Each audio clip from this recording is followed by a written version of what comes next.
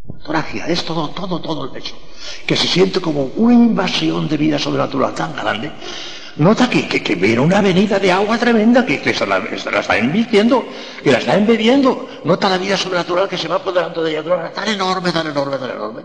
Se va expansionando por todo el organismo, y es Juan de la Cruz, que después, cuando llegue ya la oración perfecta, la oración de unión, entonces no solamente experimenta ahí todo el pecho inundado de vida sobrenatural, sino que se va extendiendo por las manos y los pies, hasta los artejos y los dedos, los, los huesos de los dedos de las manos y de los pies están bañados en un deleite de cielo, es el cielo que es como si lo hubiesen cogido a uno y le metiesen en una bañera, en el agua, en el agua, metida del todo, ¿eh? No solamente ya el pecho, que es lo primero que empieza, sino todo, todo, todo, ¿eh? hasta, hasta los dedos, hasta los pies, ¿eh? se siente, un, eh, están en el cielo. Es ya de alguna manera la comunicación de la gloria del cielo, hijos mías.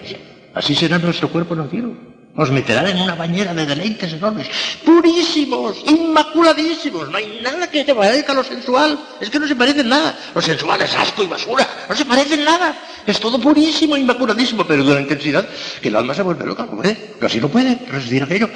San Francisco de Asís, de Javier, le decía muchas veces a nuestro Señor por la noche, Señor, basta, Señor, basta, que no puedo, que no lo resisto, que no lo puedo, basta, Señor.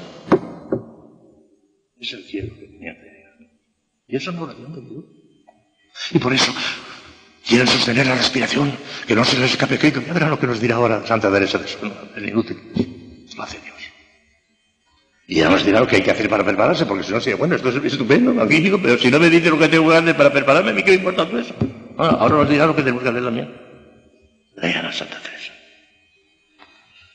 Estaba yo ahora mirando, dice, escribiendo esto, en el verso que dice, cum dilatasti cormeu, cuando dilataste mi corazón, que está en un salmo que ustedes saben, está en el salmo 118, 32, cum dilataste cormeo. Dice que se, ensanchó el corazón. Y no me parece que es cosa, como digo, que su nacimiento es del corazón, ya les he dicho a ustedes que no, sino de otra parte, aún, aún más interior, como una cosa profunda. Pienso que debe ser el centro del alma. Lo que tablero y San Juan de la Cruz. Taburero y San Juan de la emplean la palabra santa. Santa Teresa sospecha que tiene que ser eso. Dice, pienso que debe ser el centro del alma. Como después he entendido, y diré a la postre, después, que cierto veo, veo secretos en nosotros mismos que me traen espantada muchas veces. ¿Y cuántos más debe haber? Oh Señor mío y Dios mío, qué grandes son vuestras grandezas. Y andamos acá como unos pastorcillos bobos, que nos parece alcanzamos algo de vos, y, debe ser tal como no nada pues en nosotros mismos están grandes secretos que no entendemos. Digo tanto como no nada, para lo muy, muy, mucho que hay en vos, que no porque no sean muy grandes las grandezas que vemos aún de lo que podemos alcanzar con nuestras obras. Pero muy, muy, muy. Si han tenido, y seguro que tendrán, porque después de unas quintas moradas nos dirá que la mayoría de las mujeres llegan a las quintas moradas, A las quintas, no las cuartas, a las quintas. Si han tenido algún chispazo de eso, dirán que bien lo dice Santa Teresa, es lo que me pasa a mí. Una maravilla, hija mía. Y estamos llamados a esto. Si nosotros no, ¿quién? Si unas monjas que tienen vocación contemplativa no están llamadas a eso, ¿quién? Vamos a decir que nada y que todo esto son bobadas, que no hace falta ni pensar en ellas, si no está llamado nadie. Si ustedes no están llamadas, ¿quién? Si yo, sacerdote de Cristo, no estoy llamado, ¿quién? Estamos llamados. La culpa la tenemos nosotros, ya hemos lo los once.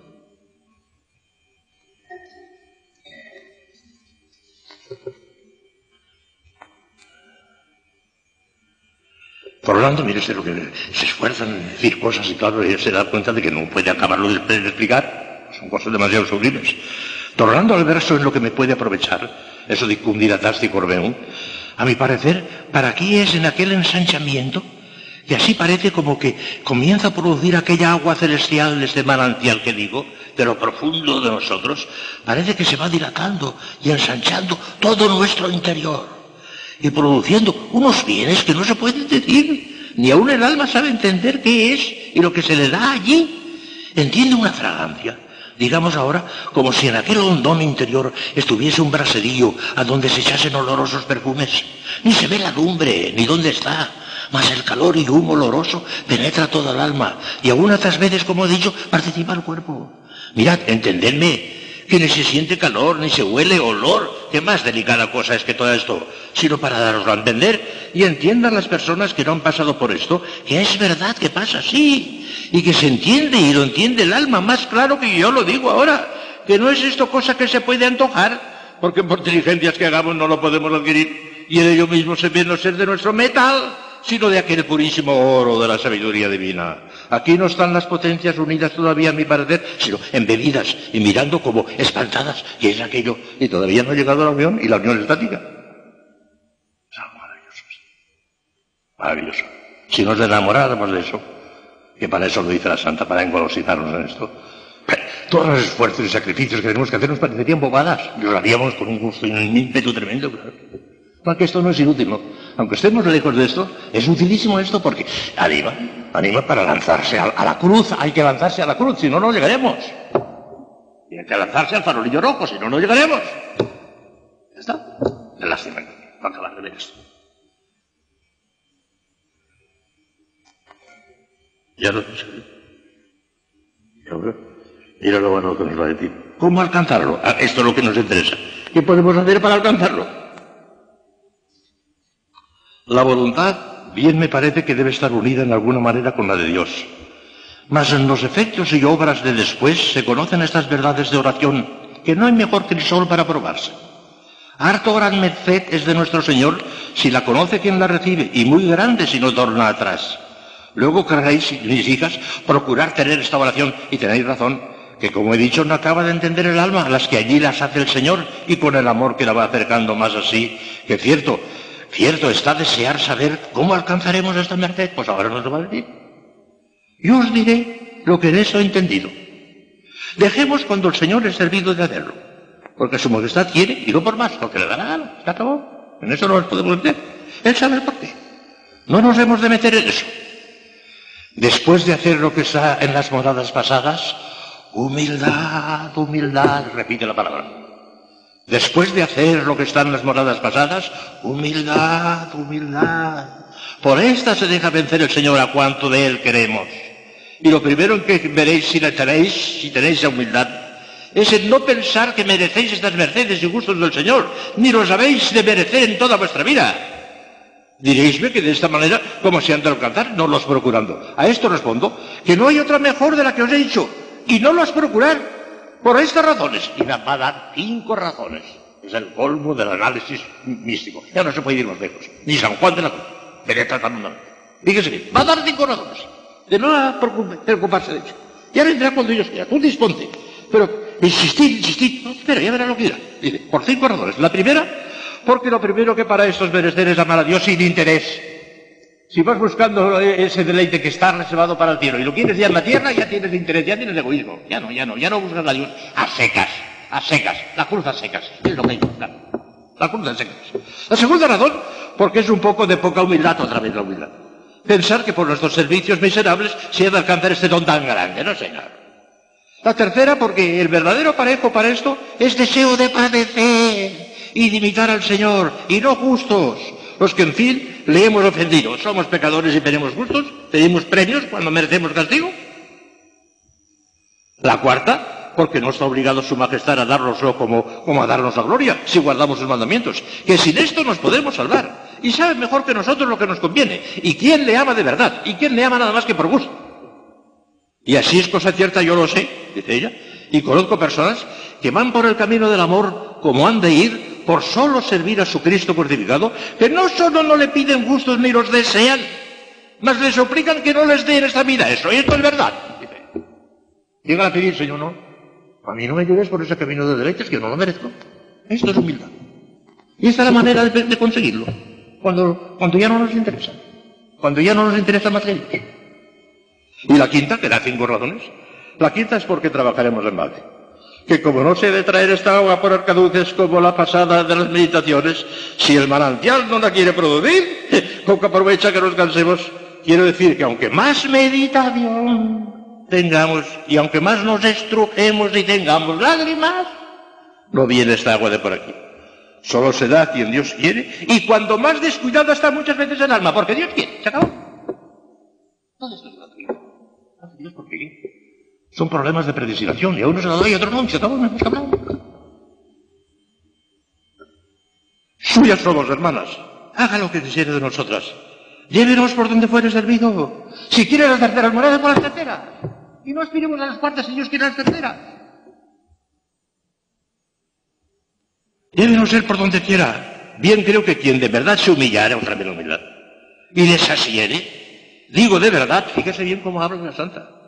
Bien creo que quien de verdad se humillare desasiere, digo de verdad, porque nos engañamos a nosotros mismos. Queremos ser farolillo rojo, mentira. De verdad, dice ella. Porque no ha de ser por nuestros pensamientos, que muchas veces nos engañan, sino que estemos desasidas del todo, que no dejará el Señor de hacernos esta merced y otras muchas que no sabemos desear. Sea por siempre bendito y alabado. Amén. Así es mío que Esto es maravilloso. Hay almas que se envían por encima de todo. Y ahora ya, ¿por qué tengo que esperar? Pues, pues que a lo mejor no estás predestinada para más. Ya está. Y te vas a quedar ahí toda la vida. Ya está. Y hay que aceptarlo con gozo, con alegría. Hay que tocar la flauta que Dios nos dé. Y si es una flauta pequeña, pues flauta. Lo que busca el Señor es el conjunto y la armonía. Ya está. Y en el cielo unos tocarán flautas altas y otros tocarán flautas más bajas, aunque tengan toda la visión pacífica. Ya está. Y hemos de aceptar con gozo, no con resignación nuestra. Si nos dijera nuestro Señor, mira, aquí te tengo predestinado más que a la tercera, tendríamos un sofocón tremendo. Nosotros esperábamos a la quinta a la sexta a la séptima. No, no, no, estamos identificados con la voluntad de Dios. La voluntad de Dios es, no sé quién escribió una cosa que a mí me parece perfecta. Teológicamente no se puede firmar. Que la gracia alcance en mí el grado de desarrollo que tengo asignado desde toda la eternidad con tu voluntad antecedente y según la medida de la donación de Cristo. No se puede decir mejor.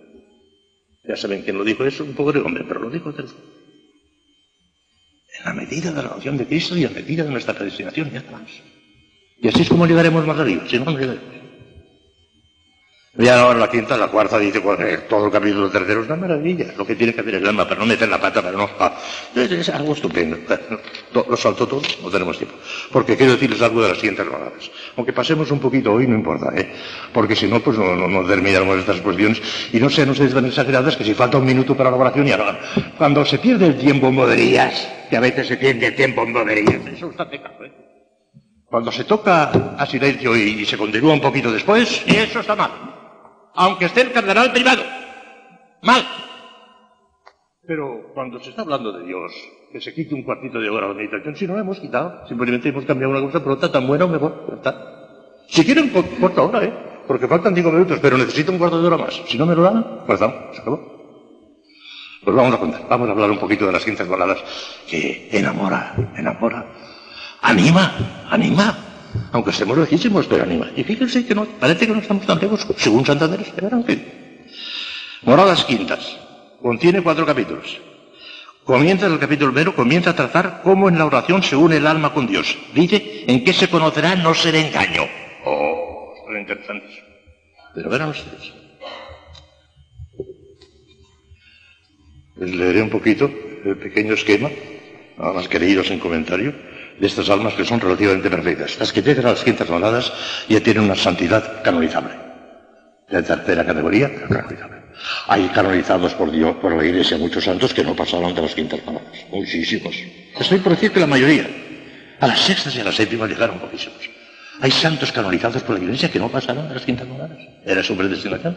Pero si viven perfectamente las quintas baladas, son canonizadas. Y hay canonizados muchos. Mire usted las, cosas que hacen. Pecado mortal, eso ni se, ni, ni nombra, eso ni se nombra. Empieza, pecado venial. Deliberadamente nunca. Jamás. Ni uno. Ni una falta de silencio. Jamás. Deliberadamente no. Se les escapa algunas.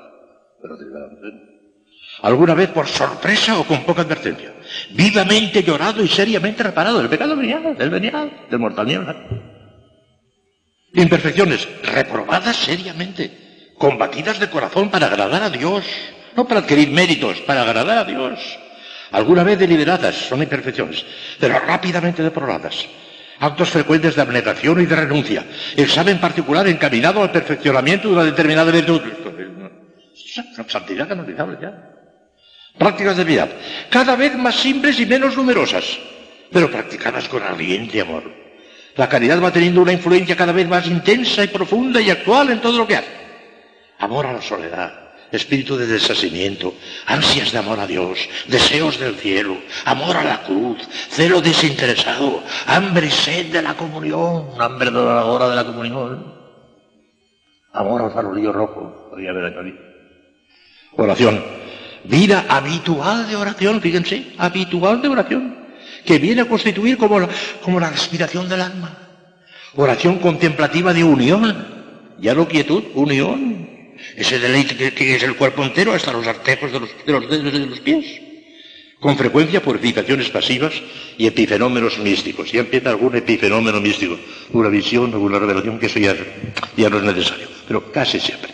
Cuando se llega a la quinta palabra, casi siempre hay algún epifenómeno místico, alguna visión, alguna sensación. Ya, ya, ya. No es necesario, pero suele haber. Santidad canalizable ya, en la quinta palabra. Olvidad lo que dice Santa Teresa. O hermanas.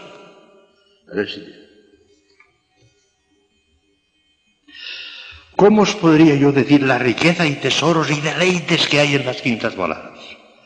Creo fuera mejor no decir nada de las que faltan. Pues no, no se ha de saber decir, ni el entendimiento lo sabe entender, ni las comparaciones pueden servir de declararlo, porque son muy bajas las cosas de la tierra para este fin.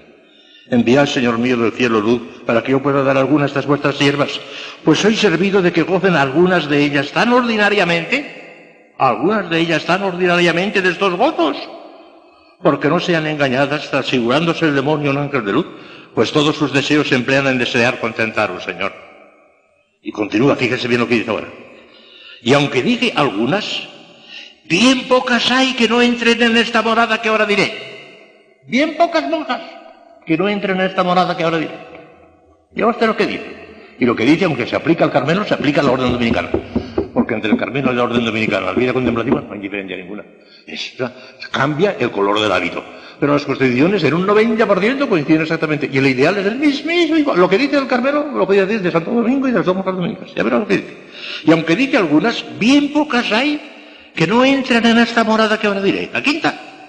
Hay más y menos. Y a esta causa digo que son las más las que entran en ellas, las más.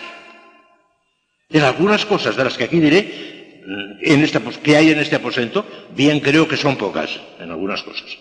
Mas, aunque no sea sino llegar a la puerta, es alta misericordia la que les hace Dios, porque puesto que son muchos los llamados y pocos los escogidos, así digo ahora, que aunque todas las que traemos este hábito sagrado del Carmen, sagrado dominicano, somos llamadas a la oración y contemplación, porque este fue nuestro principio, de esta casta venimos, de aquellos santos padres nuestros del Monte Carmelo que en tan gran soledad y con tanto desprecio del mundo buscaban este tesoro, esta preciosa margarita de que hablamos, pocas nos disponemos para que nos la descubra el Señor. Porque cuanto a lo exterior, vamos bien para llegar a lo que es menester. En las virtudes, para llegar aquí, hemos menester mucho, mucho, repite mucho. Hemos de menester mucho, mucho, y no nos descuidar poco ni mucho, insiste. Por eso, hermanas mías, alto a pedir al Señor, que pues en algunas maneras podemos gozar del cielo en la tierra, que nos dé su favor, para que no quede por nuestra culpa, y nos muestre el camino, y dé fuerzas en el alma para acabar hasta hallar este tesoro escondido. Ha comparado las dos cosas del Evangelio de hoy, la margarita y el tesoro escondido. ¿eh? Pues es verdad que le hay en nosotras mismas, que esto querría yo dar a entender si el Señor es servido que sepa. Di que fuerzas en el alma, porque entendáis que no hacen falta las del cuerpo, a quien Dios nuestro Señor no las da. Las enfermas, tranquilícense, consuélense de esto. No imposibilita a ninguno para comprar sus riquezas. Con que dé cada uno lo que tuviere se contenta el Señor. Bendito sea tan gran Dios. Mirad, hijas mías, que para esto que tratamos no quiere pues que deis con nada. Poco o mucho todo lo quiere para sí y conforme a lo que entendiereis de vos que habéis dado, se os darán mayores o menores mercedes. No hay mejor prueba para entender si llega a unión o no nuestra oración. Si nosotros le damos dos a nuestro Señor, Él nos dará cuatro. Si le damos cuatro, Él nos dará ocho. Y si le damos ocho, nos dará dieciséis. Siempre irá al doble Pero guardando cierta proporción con un grado de nuestra entrega. Lo quiere absolutamente todo. Creo que el año pasado, ya les dije a ustedes, un episodio de la vida de Santa Gema Gaglani que lo cuenta la propia Santa Gema y por consiguiente es verdad y no hay una ilusión, lo cuenta ella. El padre Stanislao, que era su director espiritual y era un santo, que está para canonizarle, resulta que le había regalado un diente de San Gabriel de la Rosa. San Gabriel de la Rosa era un joven que pertenecía a la congregación pasionista, estaba canonizado. Se aparecía muchas veces en Santa Gema, hablaba con ella, rezaban el breviario juntos, tienen cosas maravillosas. Estaban encandilados el uno con el uno ya estaba en el cielo, San Gabriel, ella estaba en la tierra todavía. Y el padre Stanislao le da un diente de San Gabriel, ¿eh? y un día se le presenta a nuestro Señor a Santa Gema, lo ella, lo dice ella, Gema, el diente de San Gabriel. Pero señor, si es una reliquia que me pone de mucha devoción, el diente de San Gabriel. Porque tienes el corazón pegado a ella y no me da la gana. Quiero que lo tengas nada más que para mí. Y se lo llevó. Me imagino yo que nuestro Señor lo tiraría. Pero se lo llevó. Todas las monjas tienen un diente de sangre Se dejarían matar antes que dejar aquello. Uy, aquello no, que me lo quiten todo menos esto. Pues ese es el diente de San Gabriel. Eso es lo que tienes que dejar. Ven ustedes cómo tenemos nosotros la culpa. ¿Por qué no estamos en la quinta bajada? ¿Por qué no estamos arriba? ¿Por qué no hacemos nada? ¿O por qué no hacemos todo lo que el Señor quiere? Que es muy exigente. Pero, amigo mío, la paga que da aún en este mundo, que nos hace comenzar el cielo en la tierra, vale la pena. Vale la pena darle el diente de San Gabriel, porque aún en este mundo nos pagará con creces, pero sigue todo. Si te quedas con el diente de San Gabriel, no llegarás a la quinta bajada. Ya está. El debe ser total, absoluto. Pues veamos, veamos qué podemos hacer. Los efectos que produce. Oh, ¡Qué maravilla! ¡Qué maravilla es esto! Los efectos que produce la contemplación. Los efectos. 894.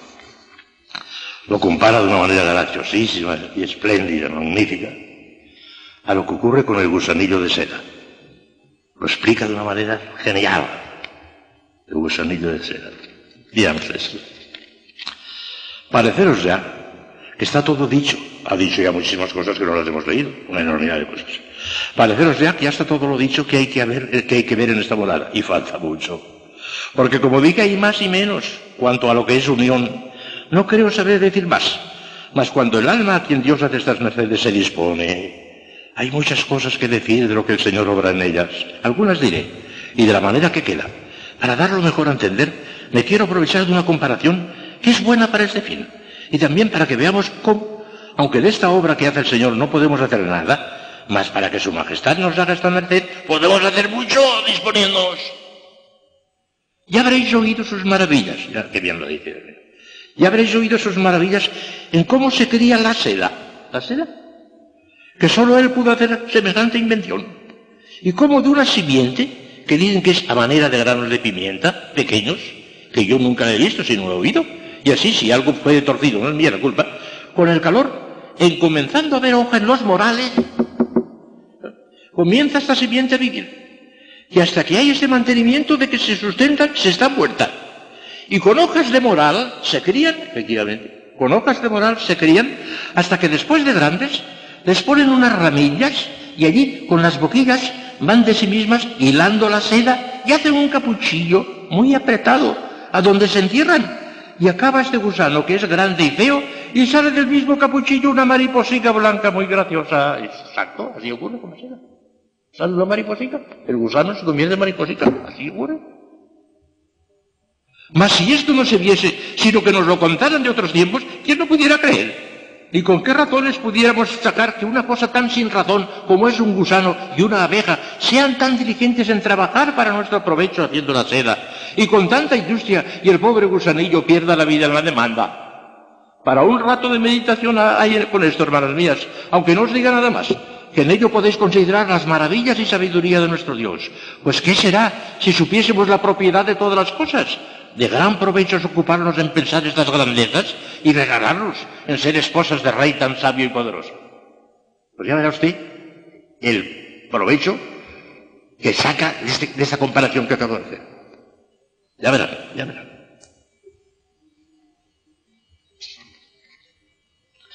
Pues ya, hijas mías, priesa, daos priesa a hacer esta labor y tejer este capuchillo quitando nuestro amor propio y nuestra voluntad. Ahora nos dirá cómo se hace el capuchillo. Quitando nuestro amor propio y nuestra voluntad.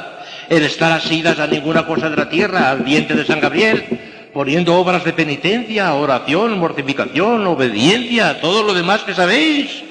Y así obrásemos como sabemos y somos enseñadas de lo que hemos de hacer. Si lo que les estorba a las monjas es saber tantas cosas. Ojalá no hubieran tantas. Saben tantas que a veces se desorientan. Ya sabemos lo que tenemos que hacer. Demasiado lo sabemos, dice ella. Muera, muera este gusanillo, como lo hacen acabando de hacer para, que, para lo que fue criado. Y veréis cómo, cómo vemos a Dios y nos vemos tan metidas en su grandeza como lo está este gusanillo en este capuchillo. Mirad que digo, ver a Dios, como deja dicho, que se da sentir en esta manera de unión. Ver a Dios. O sienten, no experimentar. Pero hay que hacer el capuchillo. Ya nos ha dicho cómo. Hay que hacer el capuchillo. Ya verán. Todavía dice cosas hermosísimas. Pues veamos qué se hace ese gusano, que es para lo que he dicho todo lo demás. que cuando está en esta oración, bien muerto está al mundo, sale una mariposica, una mariposica blanca. Oh grandeza de Dios. ¿Y cuál sale un alma de aquí? De haber estado un poquito metida en la grandeza de Dios y tan junta con Él, que a mi parecer nunca llega a media hora. Las primeras manifestaciones de, la contemplación nunca llegan media hora, a menos. Y sale de allí totalmente transformada, ya verán. Yo os digo de verdad que la misma alma no se conoce así. Porque mirad, mirad la diferencia que hay de un gusano feo a una mariposita blanca que la misma y acá. No sabe de dónde pudo merecer tanto bien, de dónde le pudo venir y decir, que bien sabe que no lo merece. Vese con un deseo de alabar al Señor que se querría deshacer y de morir por él mil muertes. Luego lo comienza a tener de padecer grandes trabajos. No padecer o morir, sin poder hacer otra cosa. Los deseos de penitencia grandísimos, el de soledad, el de que todos conociesen a Dios. Y de aquí le viene una pena grande de ver que es ofendido. Y aunque en la morada que viene se tratará más de estas cosas en particular en la sexta, es tremendo. Porque aunque casi lo que hay en esta morada y en la que viene después es todo uno, es muy diferente la fuerza de los efectos. Porque como he dicho, si después que Dios llega un alma aquí se esfuerza en ir adelante, verá grandes cosas. promete grandes cosas. Oh, oh, pues ver el desasosiego de esta mariposica, el desasosiego de esta mariposica. A ver, ¿quién está ahí? Que no, por no haber estado más quieta y sosegada en su vida, es cosa para alabar a Dios. Y es que no sabe dónde posar y hacer su asiento, que como no ha tenido tal, todo lo que ve en la tierra la descontenta. En especial cuando son muchas las veces que le da Dios de este vino embriagante. Casi de cada una queda con nuevas ganancias. Ya no tienen nada las obras que hacía siendo gusano. Era poco a poco tener el capuchillo. Hanle nacido alas. ¿Cómo se, ¿Cómo se ha de contentar pudiendo volar y andar paso a paso? Todo se le hace poco cuanto puede hacer por Dios, según son sus deseos. No tienen mucho lo que pasaron los santos, entendiendo ya por experiencia cómo ayuda al Señor y transforma un alma que no parece ella ni su figura, porque la flaqueza que antes le parecía tener para hacer penitencia ya la haya fuerte. El atamiento con deudos o amigos o hacienda, que ni, le bastaban actos ni determinaciones ni quererlos apartar, que entonces le parecía se hallaba más junta, ya se ve de manera que le, pesa estar obligada a lo que para no ir contra ellos es menester hacer. Todo le cansa, porque ha probado que el verdadero descanso no lo pueden dar las criaturas. Qué lo ha probado. Nosotros lo sabemos porque nos lo dicen. Pero yo lo sabía porque lo había probado. Las criaturas no van para nada. Ni padre, ni madre, ni hermano, nadie. Los ama con toda el alma, ¿eh? Reza por ellos y se dejaría que viva. Pero ya no le importa nada. Dios, Dios, Dios. Vamos.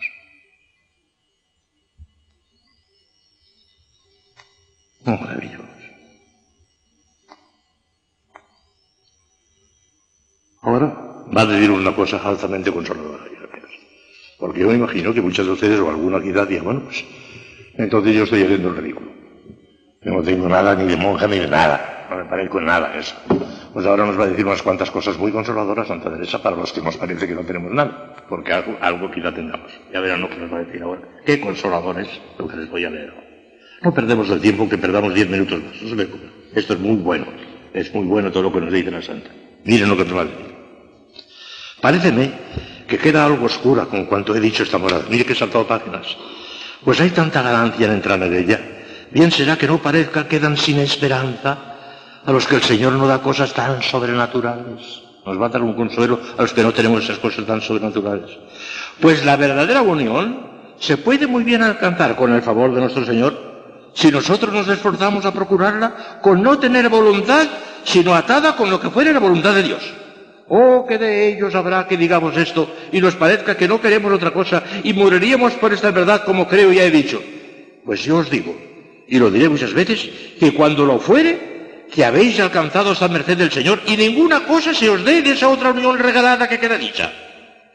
Que lo que hay de mayor precio en ella es por proceder de esta que ahora digo, y por no poder llegar a lo que queda dicho, si no es muy cierta la unión de estar resignada a nuestra voluntad de la de Dios. Oh, qué unión está para desear. Venturosa el alma que ha alcanzado, que vivirá en esta vida con descanso y en la otra también, porque ninguna cosa de los sucesos de la tierra la afligirá, si no fuere si se ve en algún peligro de perder a Dios o si ve si es que es ofendido, ni enfermedad, ni pobreza, ni muertes, si no fuere de ha de hacer falta en la iglesia de Dios, que ve bien esta alma, que él sabe mejor lo que hace, lo, que hace que ella lo que desea. Dios sabe muy bien lo que hace, que ella lo que desea.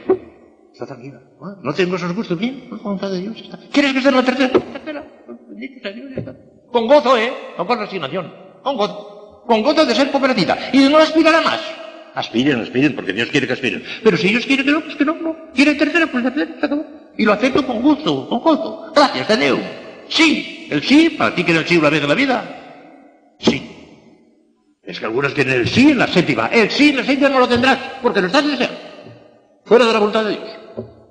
El sí lo tendrás donde Dios quiera que lo tendrás. Y tienes que aceptarlo como. Si aspiras a no tener que más que allá arriba, no llegarás. Porque no tienes humildad. Porque tienes presunción.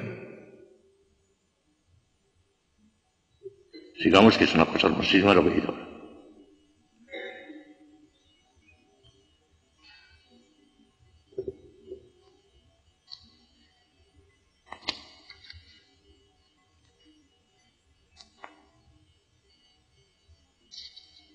Sí.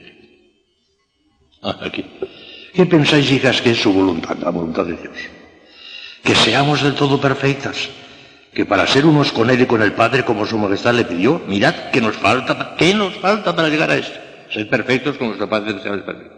Yo os digo que lo estoy escribiendo con harta pena de verme tan lejos, y todo por mi culpa. Que no ha menester el Señor hacernos grandes regalos para esto. Basta lo que nos ha dado en darnos a su Hijo que nos enseña el camino. No penséis que está la cosa en, si se muere mi padre o hermano, conformarme tanto con la voluntad de Dios que no lo sienta. Eso no es posible. Y si hay trabajos o enfermedades, sufrirlos con contento. Bueno es, y a las veces consiste en discreción, porque no podemos más y hacemos de la necesidad virtud. ¿Cuántas cosas de estas hacían los filósofos? O aunque no sea de estas, de otras, de tener mucho saber. ¿Acaso horas estas dos nos pide el Señor? Amor de su majestad y del prójimo es en lo que hemos de trabajar. Guardándolas con perfección, hacemos su voluntad y así estaremos unidos con Él. Mas qué lejos estamos de hacer como debemos a tan grandiosas estas dos cosas como tengo dicho. Plega a su majestad nos dé gracia para que merezcamos llegar a este estado que en nuestra mano está si queremos. La más cierta señal que a mi parecer hay de si guardamos estas dos cosas es guardando bien la del amor al prójimo. Porque si amamos a Dios no se puede saber, aunque hay indicios grandes para entender que le amamos. Mas el amor del prójimo sí, y están ciertas, que mientras más en este os viereis aprovechadas, más lo estáis en el amor de Dios.